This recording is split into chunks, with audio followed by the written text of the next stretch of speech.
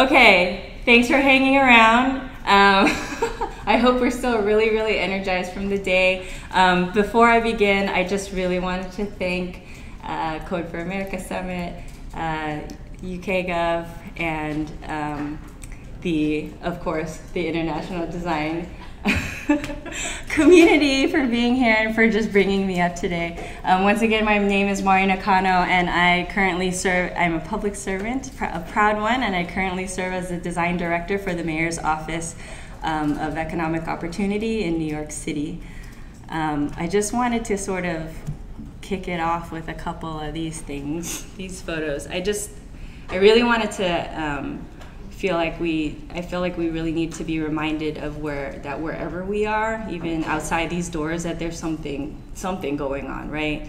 Um, Oakland and the Bay Area in general, they've had their own deep roots in social justice and civil rights um, from the 1960s civil rights movement, where citizens were fighting anti-discriminatory laws for issues like fair housing, um, to being the home of actually the Black Panther Party, which offered the first uh, free breakfast program long before the federal government even did. Um, where Fruitvale BART station, probably uh, what 10 minute BART ride from here or so, just two stops away, was where Oscar Grant III was shot in 2009 and probably became one of the earlier rallying points for what later became the Black Lives Matter movement. And just earlier this year, um, our Oakland Public School teachers went on a strike demanding a salary raise and also um, additional hiring of school counselors, psychologists, and special education teachers. So really for decades, people have been voicing their needs to government, be it right here, right outside this hotel, or in New York City. And as public servants, it's our duty to listen and to respond to those needs. Um, but to listen and respond to them long before people turn to protest or striking or long before lives get lost. Um, I come from this community. I come from a community background, um, and you know, I'm actually from the Bay Area, so it's really nice to be back here um, talking uh, in front of all of you all today. You know, in my earlier days, um, I'm not so young, uh, but you know, I really thought about what about getting into law or urban planning or maybe even Eastern medicine or something like that. And but you know, really, I gravitated towards the creative making space and ended up shifting towards design and teaching design before I knew designing in government was even an option. Um, so you know, I think you know Emma was talking about this earlier, but less than a decade ago or more. Um, design we didn't have design institutions didn't have programs or degrees focused on social impact even um, it's only recently actually even uh, the Par uh, Parsons uh, New School just launched a civic service design minor, um, or they will be in the fall. And so these things weren't there um, a decade ago, um, but now we're seeing these spaces being carved out for people like us. Um, and so, you know, we weren't we weren't here talking like this, amplifying the apparent need for design and government, but here we are, here we've been today. Um, and if it wasn't for folks like the folks in the UK or other pioneers who have really carved out spaces and resources and learnings for us, we wouldn't be here at this point. Um, and I would say that this is just the beginning, right, for all of us. Um, so the New York City Mayor's Office um, for Economic Opportunity, or NYC Opportunity for short, we focus on using evidence-based research um, and innovation to decrease poverty and increase equity in New York City. Um, our service design team is part of this kind of 70 plus uh, team uh, um, office. Um, and what we really focus on is bringing free resources to city agencies and offices and offer ourselves up both as um, consultants to advise on the practice of service design, but we also work on um, providing ourselves as a part partner uh, with agencies to deeply work alongside them. We're a young team. Um, we've been around for a few years, uh, but went official in 2017 at the end of the year. On average, because we do, we have um, design fellows and apprentices that are often on our team and about four core. This is the size of our little team of humans. Um, and as you can see by these bubbles, we've got 8.6 million residents in New York City. Um, and we are trying to tap into the over 300,000 public servants and 125 plus agencies um, that New York City has. Um, so as you can tell, we've got a lot of work on our hands. Um, but I'll also say to that that we really recognize that and we know that we can't do it alone. So we're working really hard to not only do the work, but to build the capacity of our public servants um, so that they become equipped with the design mindset, the design methodologies, and those processes in a comfortable way so that they can take the practices that, that we know and, and do it on their own. Um, so of those 8.6 million people, our NYC Gov poverty measure, which comes out of our office every year, tells us that if you can add, I'm not good at math, that's why I ended up doing design. no, that over um, that over half um, of our residents are in poverty or near poverty. Uh, poverty is quite a wicked problem, and to tackle that, we've got to learn to understand all the complexities that cause it and prevent it from uh, people from being liberated from it.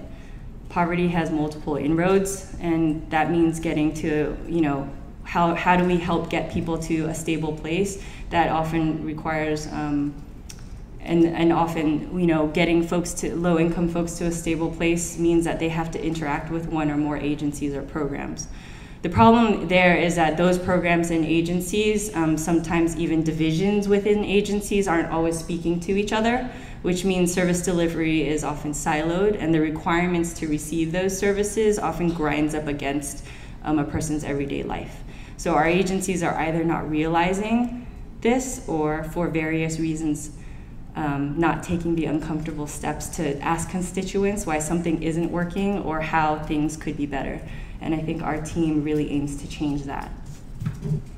Um, so a couple of short stories that I can talk about where poverty, um, where where uh, the work is really straining and complicated. Uh, the services are really straining and complicated for our users. So, for example, in our Pathways to Prevention project, where we worked with the Administration for Children's Services, you've got families like Runa's family here, where they're confronted with things like struggling to escape an abusive partner, dealing with school truancy or aggression or anxiety from the older child, perhaps trying to hold down a new job, all, also whilst trying to gain or sustain eligibility for childcare, for support for her newborn, um, housing support, public transportation support, cash and food assistance.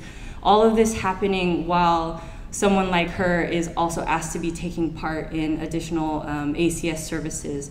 Perhaps those services are far commute from her home, um, and she's trying to do this all alone um, and to just keep her family strong and together. She represents one of these tens of thousands of uh, cases handled by ACS uh, every year. There, and you've got someone like uh, Will here, who is not necessarily a resident, but is a caseworker who works for the Department of Homeless Services. He's a frontline caseworker who probably gets paid under $45,000 a year. He supports individuals who seek shelter daily um, right now, there's over 63,000 folks um, seeking shelter. About a third of them actually are children. Um, if you can imagine his life of having to take case management and doing other administrative duties, but also having to meet these folks um, coming to shelter every day, um, seeing them come in with their plastic bags or being coming in um, extremely stressed and coming from a bad situation, looking for not only just public benefit support or housing, but just mental and emotional support too. And day in and day out, having to, to deal with that is also something we have to recognize that our service providers are also um, impacted by that type of trauma of interacting with um, these vulnerable populations. And so we have to be really mindful about how we build safeguards in place for them to decompress and self process um, because what happens is high turnover, high stress, and we lose um, these types of folks that we so need in government. Um, and so part of service design is working with them as well and finding solutions for them and um, helping them, helping us also realize how can we build in um, client-centric ways of having someone like Will be able to support uh, the residents out there. Um, in our latest project, actually with the Mayor's Office for Criminal Justice and the First Lady, we learned that most of the women detained at Rikers Island Prison Complex are mothers. Um, in 2016, I believe, um, over about 500 to 600 women are detained uh, daily at Rikers. Um, about 79% of them, um, estimated in 2016, uh, are mothers.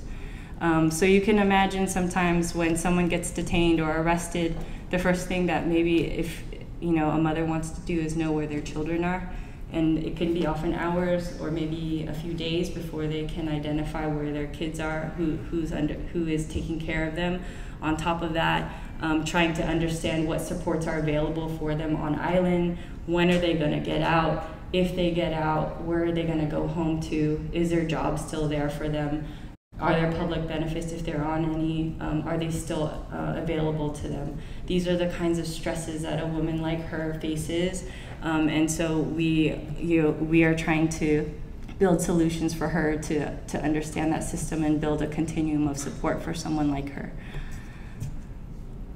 So moments like that, moments like these three sort of stories that I shared with you, and these are three real stories um, of people that we have researched and talked to. Um, these, you know, these folks over them hangs like a, a cloud of life complexities aggrava- aggravated by these sort of government inefficiencies, policy roadblocks, and stigma. Um, so when you can imagine like one agency trying to, you know, provide a service to a user. Um, and compounded with their daily lives, or several agencies who aren't talking to each other, trying to support these people in their daily lives you can imagine how complex and difficult it is for them. These folks that we design with are challenged by the systems that unintentionally keep them in poverty, and then when the system flaws happen, over and over again to these same people and to the same communities actually that leads them to believe that government isn't reliable or listening to them or on their side and so these folks represent some of the tens of thousands of new yorkers um, going through similar struggles. And we really believe that if we really want to create accessible and dignified services, government has to zoom out and recalibrate themselves around the holistic, real lived experiences of our users. And our team has been spending a lot of time chipping away at the system mindset and um, have learned a few things from that. So, what we believe is that a real lived experience is just as valuable as a policy degree. So, bringing our users into a conversation early and often is in, in real ways is important to understanding the delicate and nuanced challenges to increasing economic opportunity and bettering the quality of life for these folks. We believe that our users, the individuals, the youth, the families, the elders of our city are agents of change and a key to larger transformation. So bringing them into the research is key. We, we literally right ha- now have a woman named Tamanika who works for our children and who you know, provides mental health support for those who are reentering, um, who are who's working with us on the uh, criminal justice project right now. So she comes in and um, we call her a design fellow as well, so she's learning a lot about um, our methodologies and our practices. But what we, what she really is to us is a checkpoint and someone who, who really keeps us in check with our work um, and lets us understand um, our users in a deeper way. Um, so she's there sitting with us right now. But we also bring providers in uh, when we can to develop our service provider contracts with us. So in an RFP process, this is a common thing that um, agencies come to us for. How do you design a better RFP process, a contracting process? And so, when in those moments can we bring design in so that we can bring the voice of providers and users of those provider services early on enough so that when these contracts or RFPs are going out, that those voices are included in, in those RFPs. So we are really trying to take actionable uh, like efforts to, to bring in our users into our research work and our projects. Um, we also believe that people's experiences and stories are evidence too. So, like I said earlier, we're part of a team that has program and evaluation and poverty research experts on the team to really, they help us kind of their their work really helps couple our design research work to enhance what we do, amplify what we do, and legitimize what we're doing. So those folks who are skeptics of design research can really trust um, the the kind of um, work that we're doing. Um, but we really believe that um, the quotes, the stories, the insights um, that designers do so well at collecting are not adjacent to the evidence-based research. Um, the evidence, you know, the these stories are in themselves evidence too and serve as additional guideposts in steering our work towards the right interventions. So, how we collect this information and couple that uh, with the evidence based research is something that we're shaping right now with our team. Um, and that's like something that we're working on for the year is you know we've never really done deep co- cross collaboration across our nyc opportunity team but we really understand that if we can really crack the nut on what that framework could be how might we be more innovative and you know more efficient for our users um, design is going beyond empathy right so we all know like sympathy eh. empathy yes right but more deeply is actually being an ally to transform um, our insights into action. So we really need to stretch ourselves to be those allies. Um, but not get too bogged down by because when, when you get too deep sometimes it gets too personal so balancing that out is important but real action we need to take real action that can really rejig systems and provide better outcomes we you know, we have to know that we aren't here to just let people know that we're listening to them. That does very little on its own. Um, what we're here to do is to, um, what we're here to do is really to show and make real change that can be seen and felt by our residents and measured by our skeptics. So our team, when possible, does not take on a project without establishing an agreement or SOW with our agency partners to prototype and identify where in the system a real commitment can be made. We're kind of anti-report, so we don't want to end with a report that no one will ever read. Uh, we're, we're deeply committed to saying if you're going to commit to working with us, then you're going to commit to making a solution for your users, and we will sit with you side by side to strategically find out how we can implant that into your agency so it's adopted and built. Um, and we will handhold you if we need to. If you've never dealt with product or anything before, we will be there to make sure that happens. Um, so that's something that we're, we're pretty committed to. So design is really powerful. It gives government the confidence to really fight through the complexity that's often jading and exhausting the longer you work here. Um, when you can get people out of their seat, um, like literally out of their seat, you're, you're making a difference. Like I have been in rooms where we've tried to do co-design or tried to do a synthesis or some type of you know meeting to talk about the work we're doing and everybody's just sitting around that conference table and you're like let's stand up and put some post-its on the wall and no one moves and you're just like how why why you know and then it was like there's glue on the seat or something like that but but really you know, once you can actually get people moving and, and really Sharpies, Sharpies and Post-its are actual magical tools that get people excited. They're colorful. They, you know, they harken back to our childhood a little bit. You know, those types of things actually are the, are the initial spark and easy spark to create change, to show people that you can work differently. And so we've really seen that des design can ignite and invigorate um, a government space that um, often sometimes you know people seem exhausted and burnt out in. Um, what two of the kind of more concrete ways that I think that we're doing this is one, we offer these civic design forums that happen every other month, which attract a full house of about 50 to 70 folks every single time. We partner with our IT uh, team, DoITT, and um, right now a new partner, um, the City Planning Labs. And those we bring folks to the table who are design curious who are doing design who are doing product development in the city to kind of share all the different projects that are going on to meet like-minded folks but also to network and understand what are the common problems that are happening uh, across the city and who else might we need to talk to that, that are also tackling the same problems.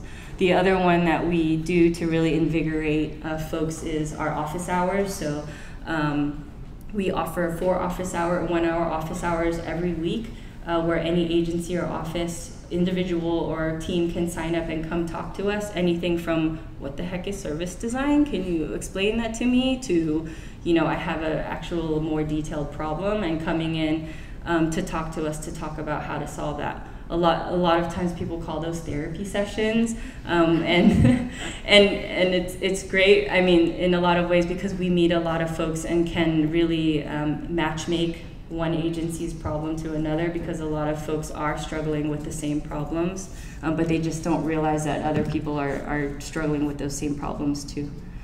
Um, design big thing is design gives us the permission to ask why right it gives us the tools and tactics to do our jobs better and to have the conversations that ignite change. So when we can sum up the research and come back from a field testing or you know field research and tell the agencies the stories that we've heard lay those artifacts and ideas out on a table those design artifacts will draw our colleagues away from assumption draw people away from like an end goal that has no research behind it perhaps and keep them focused on the user. So design lets us really ask why things are the way they are and they challenge the status quo.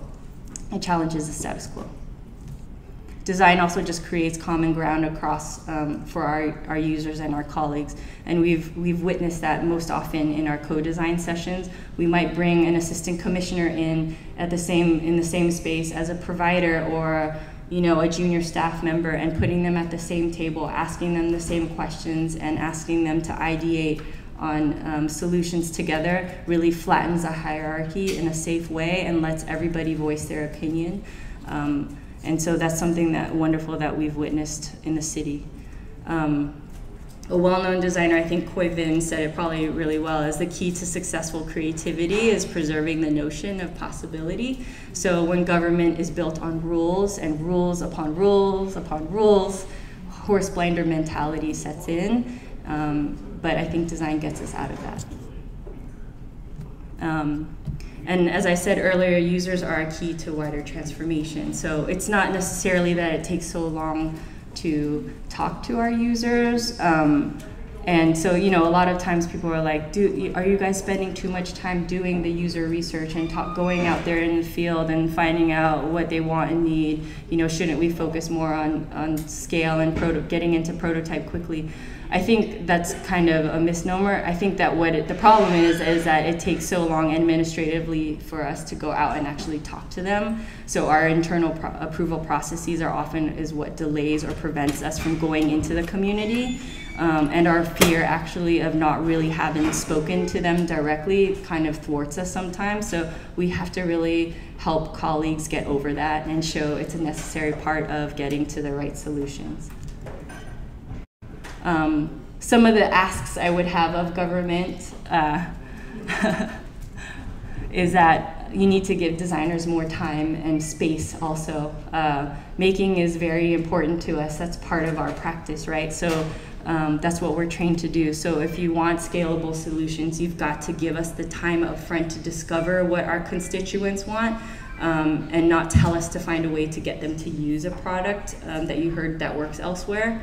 But you also have to try, if you can, give us the space to put up our boards, to put up our post-its and our synthesis work because not only um, is that necessary for us to like pull ourselves away from a computer or a piece of paper but there's a design osmosis that happens when you have these things in an office and people walk by and see the products of the or the progress of your work um, so it's super important that we can do that or at least hack a space or just take it over uh, um, to, to enable um, our creativity to really flourish and be uh, visible and transparent. Um, also, you know, if we want to do government right, we need to learn how to speak to our users again. So as designers, we do it often, but it can't be just us. So, you know, because like, you know, we, we, you know, um, how, what was I going to say? I have a story to this, actually. That's a better way to go into this. Um, when we worked with administration of children's services, uh, some of you were in my talk earlier, but we um, encountered families who had visceral reactions to being in the same room as an ACS person who might not have even talked to them, but the fact that they knew that an ACS person was in the room at the same time um, would trigger crying, would trigger dad saying, I just, I'm just so stressed that I'm in the same room as this person right now. And, and when we realized that, um, one, we realized that we need to be more trauma informed about the research that we do, that we need to train ourselves up better so we can approach these things um, uh, in a better and more informed way. Um, but the other thing is that what we learned is that you know agencies don't often go and talk to those direct users themselves. They'll often go through the providers or assumption. They'll just make their own assumption. Um, but it's really important that we get to them um, because they're really like as I've been saying this entire talk, um, they're they're an, an, extreme important part of um, getting us to the right solutions. Leadership also really matters. Um, we're really lucky to have um, an executive director and a deputy executive director and a whole team that supports service design and our practice.